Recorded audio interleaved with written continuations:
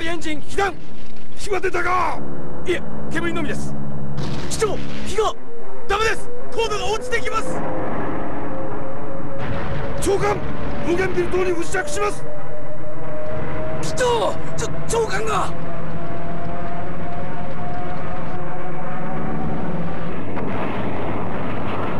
長官！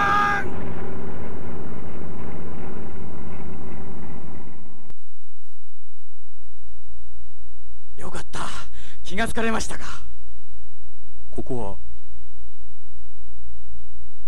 日清の医務室です。日清？はい。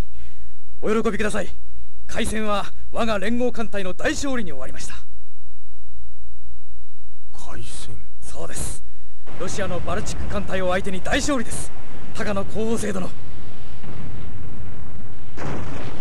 明治38年日本海軍は遠くヨーロッパのバルチック艦隊に決戦を挑み大勝利した。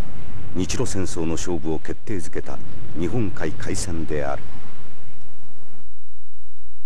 確かに私は高野五十六少尉候補生として日清に上艦し日本海海戦に際し敵砲弾によって重傷を負った。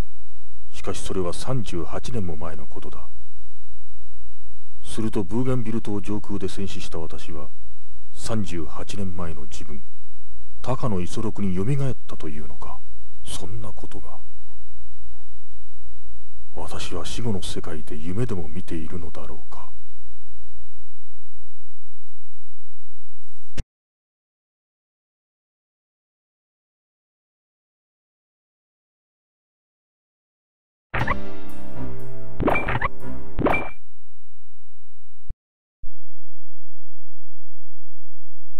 これで我々は何度目の会合になるかな？はい。12回目になります。海の名は紺碧海ここは後世世界。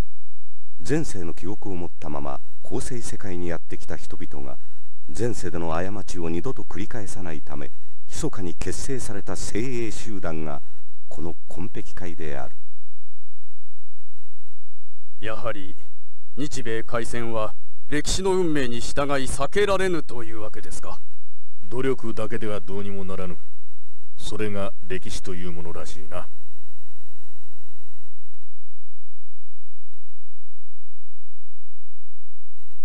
高野総長は先の会合終了後料亭を出た直後暴漢に襲われ現在自宅で療養中である。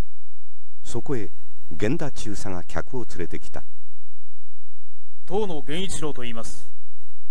ほうお名前は金がね彼も高野総長と同じ構成世界にやってきた人物の一人である